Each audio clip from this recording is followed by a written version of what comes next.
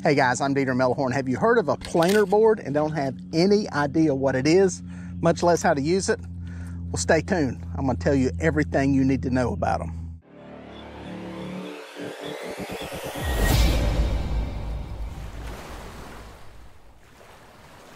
All right, guys, these funky contraptions are planer boards. There's a lot of different variations to them. I have done a lot of videos on planer boards.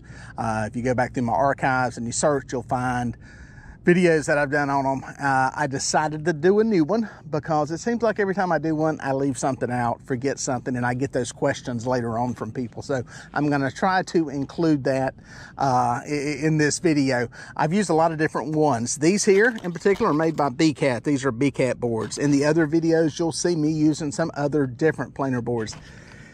Every planer board is a little bit different. Sometimes it's the foam, the flotation that keeps it afloat that's a little bit different. Sometimes it's these clips. This is these clips in the back are the ones that hold the planer board to your line so that if your line breaks, you don't lose it. Sometimes it's the clip up front. Sometimes these are quick release clips that pull right out when a fish hits it or when you pop it hard. And sometimes they're like these and they have a locking mechanism and a little post to keep your line on. Uh, the bottom line is they all work basically the same. Uh, you attach them to your line in two places. Again, one is some kind of clip or little curly tail thing. The other is at the front. You let them go out as far as you want to. You could put them out 100 feet from the boat if you wanted to. You could stagger them out even closer. Uh, but what happens is when your line goes tight and you quit letting line out, the tip on this thing turns out. It pulls this kind of in line. When that happens, this turns out and starts to swim away from the boat. Um, you ask yourself, well, why are you doing this? Well, there's two really good reasons. The first one being is that it gives you a wider spread. With this thing swimming away from the boat, it's going to be further away than a rod that is just going straight out the back. So you get a bigger coverage area. If you're trolling and pulling multiple rods in places where that's legal, like it is here, but we can run as many rods as we want to, it helps with keeping these get, these lines from getting tangled up just by having them spaced out more. So that's the reason we use them. Now, planer boards are built for each side of the boat. So if you will notice on the board, there is basically what I would call a bow. Uh, you see it shaped like the bow on a boat. The back side is like the transom. It's flat. And on the bow, it goes through the water. That's going to be going toward the front. Bow, bow of your boat.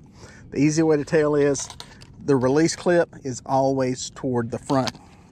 If you look at this one here, you got one for the port and starboard side.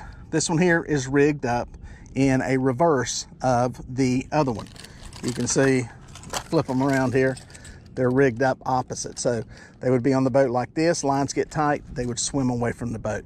So uh, one thing people ask me, I get them on guy trips, they put them in the water and they're just sitting there. When you first put them in the water and you're letting out line, they're just gonna be like this, okay? They're gonna go just straight. What happens is when you pull that line tight, that's when they turn and that's when they go out. I've told people it's kind of like putting your hand out the window when you're going down the road. If you keep it like that, your hand doesn't do anything. You turn your hand a little bit, it goes that way. It's kind of the same principle behind this. What I'm gonna do is take one of these and I'm gonna show you basically the process of how I attach it to the line. This seems to be the most confusing part for people. I'm gonna try to explain it really, really well this time. What I do is, and this is, I've heard this from people repeatedly on trips when they see me do it, they go, wow, that is as simple as it looks. And it really is. What you can do is say this is baited up. You would just cast this out. You don't have to cast it far. You just need just kind of a nice moderate throw. Uh, beginner's cast on a bait caster, just let it sling. You're gonna let it go until it hits the bottom. And that's gonna depend on how deep a water you're in. Watch your line go off, let it go, let it go, let it go, let it go, let it go. Still going. I'm in deeper water here. I'm in 30 feet of water. It's gonna take a second for it to get there. But this makes sure that you have contact with the bottom. Poof, I think we're there now. Boat's moving along pretty good. Uh, I've got it going a little bit fast just for the effect here. Now, the thing is, you're going to have to make sure you grab the planer board for the right side of the boat. You'll mess this up eventually. I have done it before. It's not a big deal. Your planer board won't swim right. You're looking at the side of the boat. You got to make sure that this is pointed toward the bow and that the clips, all the brackets are facing you because all that gears toward the boat. So what you're gonna do is first thing, you're gonna secure it to the clip. You're gonna use that. This one has just a basic clip on the back of it. It's real easy. You put it on there, boom, it's not coming off, okay?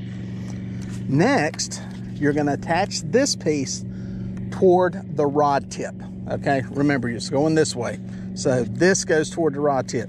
You hook it up backwards, bad, because then it will be pointing toward the back of the boat. The bow of your planer board's going the wrong way. You'll do this eventually. You'll get in a hurry. You'll mess it up. It's okay. You're going to put that clip into there or put this into the clip. Get it in the rubber pieces. Generally, they have some little rubber pieces in there. And boom. On this one, you lock it down. Now, some of them, you just pinch it open. It's just basically uh, almost like a, a little paper clip. On this one, it's got a locking mechanism. Now what you're gonna do is you got the board. All you have to do is drop this board in the water right next to the boat.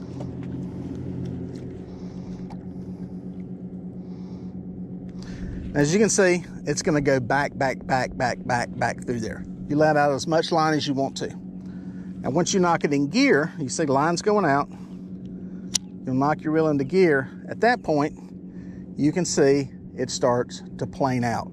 How fast it planes out depends on your boat speed. So that one's gonna go out pretty good. I'm toting it down through here doing about a mile an hour. I'm gonna slow it down a little bit to get it more reasonable speed. And I'll go over some things that are real important on planer boards and the speeds at which they operate at. And I bring them back in. If you have release clips, you just pop it real hard and you bring it in. These flop over onto their side. Sometimes some boards don't do that. They're a pain to get back in, but these come in real easy. I'm gonna drop that in one more time. If you watch my videos, you'll see me flip it out.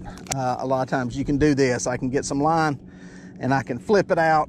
I'll do that to kind of give it a jump start and get it past some lines. You really don't have to do that. Uh, sometimes I'll already have lines out. I'll catch a fish trying to get it past lines out of the way. But I'll show you one more time. You literally drop it in the water right next to the boat and you just let it go back. Now again, when you bring them in, you just reverse the process. You get it up here, undo this clip, boom, that's gonna pop right off of there. You see there's a little post in there. It's gonna come right off. Take this off, lay it down, and you're good to go.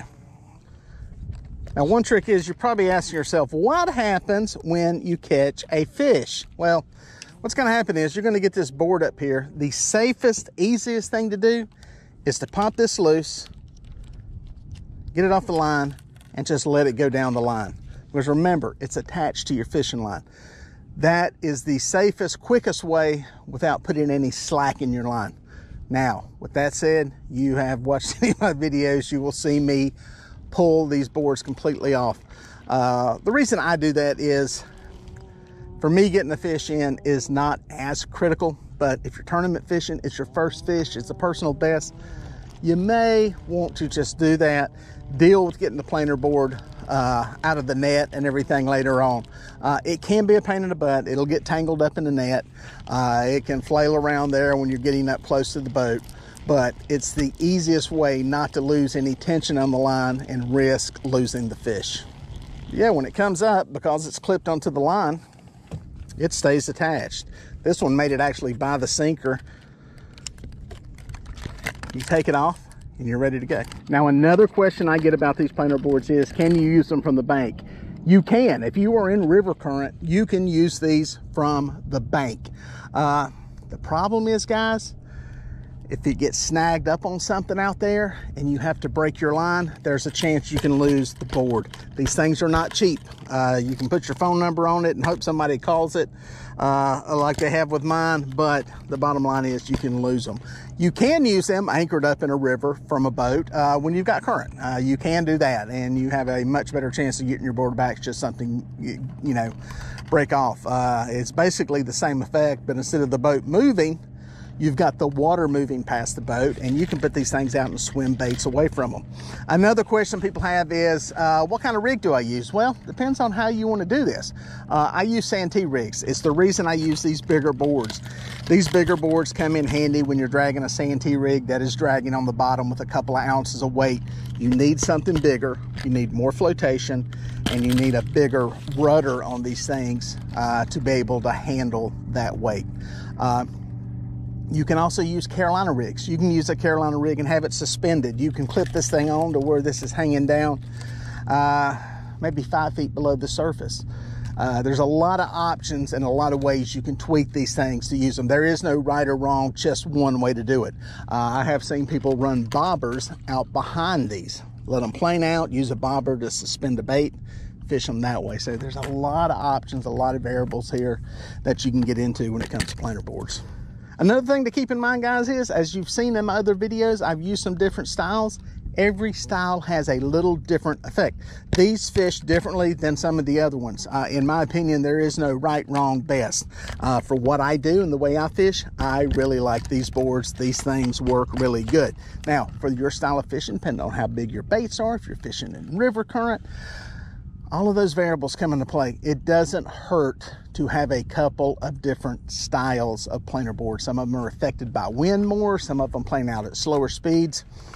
It doesn't have hurt to have a couple of different sets, try them out, see how they work for your style of fishing, and see what is best. All right, guys, hopefully that gives you some good information. As always, if you have questions about this stuff, go to my website, DieterMelhornFishing.com. You can message me on there. I can answer some of these questions and give you some feedback on it and uh, point you in the direction of some of these folks. I'm going to put links to these boards down in the description section if you want to check them out. And uh, as always, we'll catch you out on the water. Well, folks, if you made it this far, thank you for watching. Here are a couple more videos that I think you're gonna like. I'd watch that one and then that one. No, do, do that one first and then that one. I know, just watch them both. They're both good.